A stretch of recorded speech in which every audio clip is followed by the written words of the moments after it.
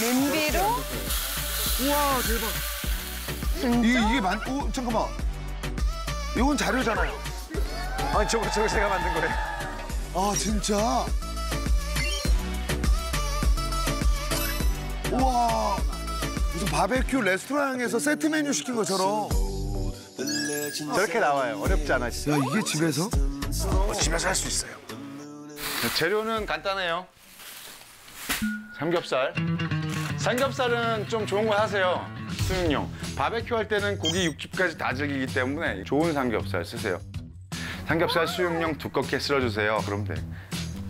그리고 칼집을 내면 좀 이뻐요. 그냥 큼직하게 하면 돼요. 칼집을 내서 요거를 좀 칼집을 내주면 그런 것도 좀 방지가 돼요. 요걸 4등분하면 돼요. 바베큐는 간이 다예요. 고기에 밑간을 하면은 별거 안 찍어도 맛있어요. 이렇게 하고 여기다 소금 간만 할 거예요.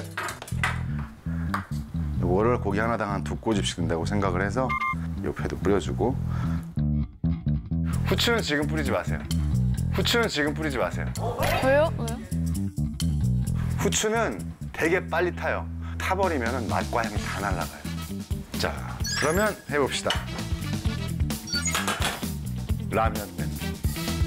그리고 뚜껑이 있어야 돼요.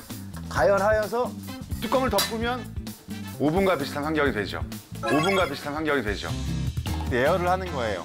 밑에만 뜨거운 게 아니고 옆에 벽까지 다 아 따뜻해지죠. 싹 열을 올리는 거거든요. 그럼 오븐처럼 이렇게 열이 감싸지는 거죠. 다만 양은 냄비는 안 돼요.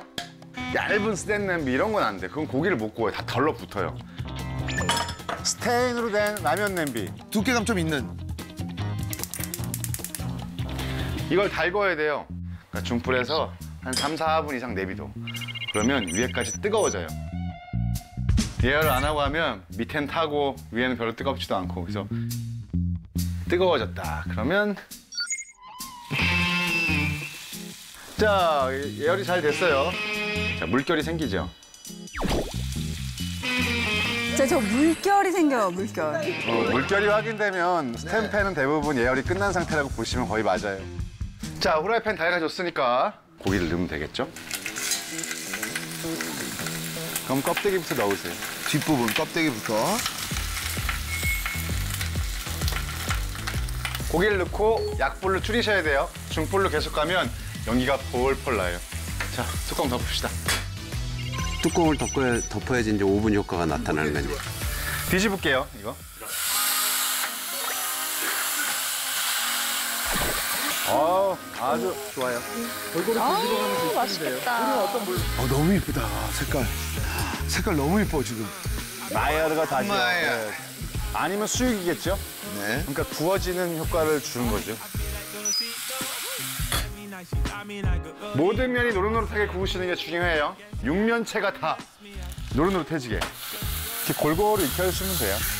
지져주신다는 생각으로. 야, 색깔 너무 이쁘다. 마야르.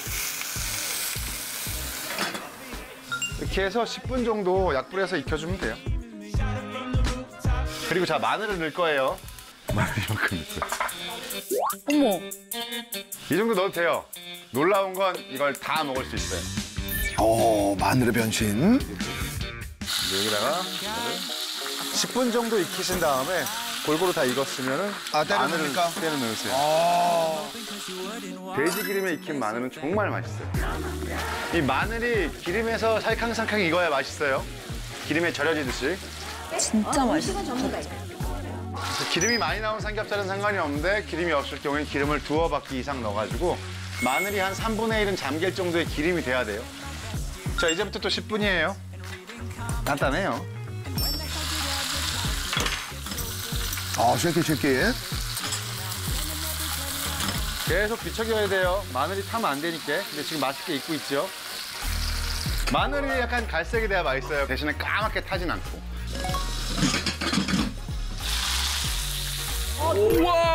맛있겠다. 이렇게만 먹어도.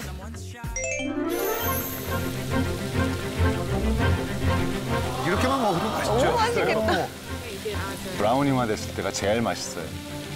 여기다가 파나 내가 좋아한다고 양파, 버섯 막 그럴 수도 있어요. 그러고 싶으면. 근데 그러면은 찜이 된다는 사실을 기억하세요. 제가 최소한의 파만 넣어도 맛이 바뀌어요. 마지막 5분은 마늘만 익히고 위에다 고기를 얹어만 놓을 거예요. 뜻만 들이자. 마늘 위해서. 그렇게 이해하면 돼요. 마늘 향이 고기에도 싹 배겠네요. 맞아요. 고기를 완전히 마늘 위에 올릴 거예요. 이게 조리법이 10분 고기를 익히고 10분 마늘과 고기를 같이 익히고 5분 동안 마늘 위에서 뜸을 들일 거예요. 그렇게 이해하면 돼요. 그러니까 25분을 넘기시면 안 돼요. 정확히 지켜주시기 바랍니다. 25분. 다 익었다? 100%다 익었다? 진짜? 이게 만... 색깔이 진짜로. 요걸로 그냥 스테이크를 이렇게 거야. 맛있어요. 진짜 되네. 냄비로 바베큐가 되네. 된다니까요. 제가 저 외에도 이제 큰 소세도 해봤어요. 24cm짜리 곰솥에도 해봤는데 똑같이 나와요, 25분이면. 그러니까 불만 좀 세게 하세요. 고기를 꺼낼게요. 이렇게 해서 꺼내서 접시에 놓고 이렇게 덮어. 이렇게 덮어. resting 할 거예요. resting 할 거예요. Rest. resting이라고 하는데 아, resting?